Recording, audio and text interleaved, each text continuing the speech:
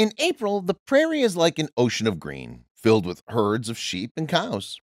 In the middle of this beautiful landscape, a shepherd gallops with his horse. In front of him, a wild wolf with a child of about three months in its mouth. Right at that moment, a sudden screeching sound was heard in the sky. An eagle pounced on the running wolf. Everything came to life, the meadow filled with herds of sheep and cattle. One day, 25 year old Lucas took his wife and his three month old son to the area where he used to graze. He didn't realize that there were two wolves silently following them not far away. They seemed to have some plan and were up to something. Wolf howls were heard. Two large gray wolves appeared not far away. They howled loudly. They seemed to have set their eyes on Lucas's flock. The sheepdog tried to charge, but Lucas stopped him. Wolves are cunning by nature. This could be their plan to attract him. As Lucas had guessed, the three wolves had no intention of rushing, but neither leave. They stood still and continued to howl as if they were sending some kind of message. Lucas looked around suspiciously. He looked at his wife and his son, although he was in the midst of the wolves and them for safety. He sent the sheepdog towards his wife and his son. Seeing that the human in front of them was not at all afraid of them, the two wolves let out an angry growl and charged towards Lucas. In the distance, the sheepdog barked furiously. Seeing his master surrounded by so many wolves, he ran to help him. When he left, the two wolves that had been following Lucas began to approach his wife and son. Mary held the baby with a worried face as she watched her husband fight the wolf, completely oblivious to him. They crept forward, getting closer little by little. As soon as they felt they were close enough, one of the wolves jumped up and pounced on Mary.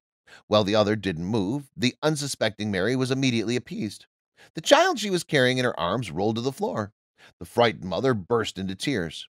Luckily, the ground was covered in grass, so the boy was not harmed. Mary turned her head to see what was attacking her, but subconsciously she crawled towards the boy. Just then, the other wolf moved suddenly, lunging straight for the baby, picking it up and running off into the distance.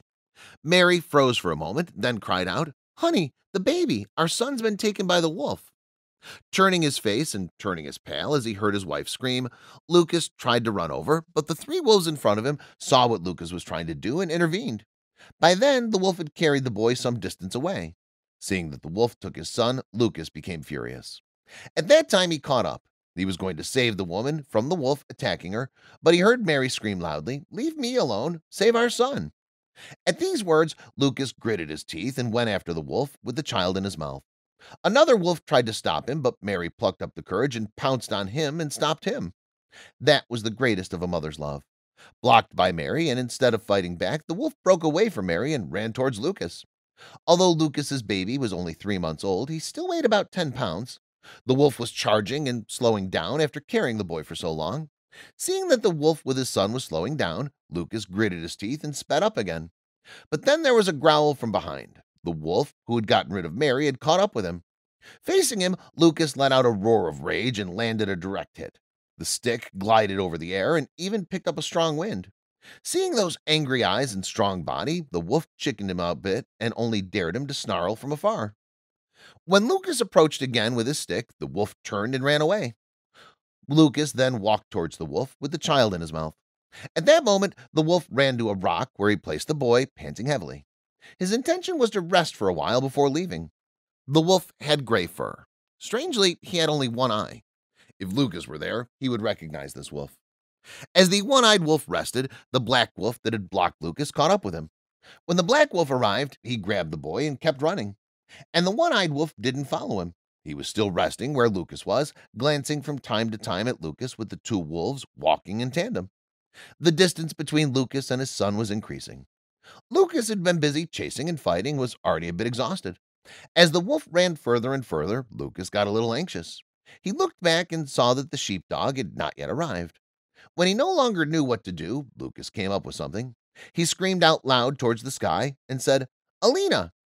A few seconds after Lucas's loud cry, an eagle high in the sky suddenly turned and flew quickly in Lucas's direction. Alina landed next to Lucas. Her head rubbed against Lucas's body in a very affectionate way. Lucas stroked Alina's head and kept saying something. He then pointed in the direction of the one-eyed wolf. Clever Alina gave a start. She spread her wings again and flew high into the sky. With a sharp whistle, Alina descended from a thousand meters, staring at the one-eyed wolf. Approaching the ground, she spread her wings. The one-eyed wolf was knocked down by Alina, and the baby he was carrying in his mouth fell to the side of him. The baby cried. Alina tried to catch it, but the wolf pounced on him. The carving and the wolf then fought against Alina, who was powerful in the sky. She too was not weak on land. She flapped her wings, opened her hooked beak, and pounced. The wolf barked as it ran. As it howled, the pack's response sounded from the forest not far away. It turned out that he was asking for help. The one eyed wolf looked back at the wolf struggling on the ground and picked up speed again. As long as he and the pack were reunited, not even the eagle could save the boy. Lucas, who was coming behind, also realized the situation. At the critical moment, there was a sudden bark behind Lucas. He turned around and saw Dedau, the shepherd dog of his, coming. Behind the Dedau, there were more than 10 shepherd dogs. They also knew how to call their friends. On land, the sheep dogs were already fighting the wolves. The Dedau ignored them and continued to chase the fleeing one-eyed wolf. Elena had already pounced again and slapped the one-eyed wolf. The wretched one-eyed wolf was trying to get up when Elena immediately came over and closed his mouth with a claw. At that moment, the Dedau also arrived, biting the one-eyed wolf's neck, only to see it spasm for a few moments before remaining motionless. Alina and Dedau then arrived to watch over the children while they waited for Lucas. Soon Lucas arrived. He was relieved to see the boy unharmed. He stroked the heads of Dedau and Elena. Three years ago, Lucas planned to buy a sheepdog. He went to the dog market earlier. He chose Dedau at first sight and bought it. One day, Lucas was taking Dedau along a cliff. When Dedau seemed to have something and he dove into the surrounding grass, he turned and barked at Lucas. He wagged his tail like a rattle. He looked like he had found something good. Lucas approached curiously and found a young bird struggling and chirping in the grass.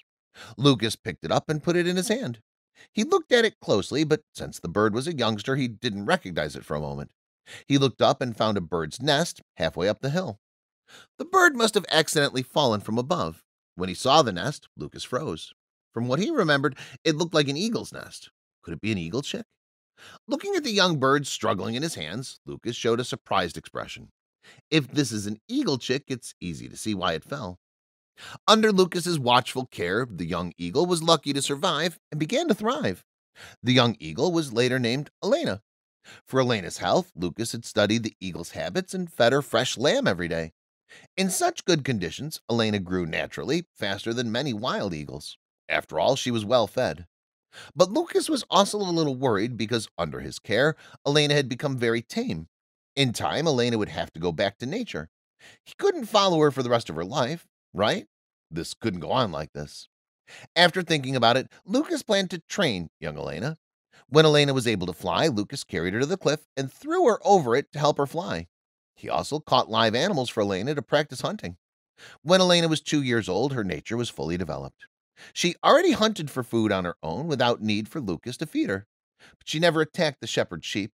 Elena accompanied Lucas when he grazed sheep fluttering over the flock, chirping and attacking if she got close to any other animal. Apparently, she had transformed into a shepherd bird. Three years had passed. Elena had become the owner of the sky in the area, and Lucas expected her to leave. She'd fly back to the wild and take to the skies after Alina defeated a few eagles. Her reputation spread far and wide, and no other eagle came to attack her. Thanks to Elena, Lucas had it much easier when it came to grazing. With Elena in the sky and Dedau on the ground, Lucas made a very easy job. He didn't expect the one-eyed wolf to take advantage of the situation. Luckily, Dedau and Elena were here. For the rest, you shouldn't love animals, but you shouldn't hurt them. The end result is definitely a lose-lose situation. As wild animals have their own love-hate relationship, they're clear about what to love and what to hate. They'll find the opportunity to respond to the favors and take revenge.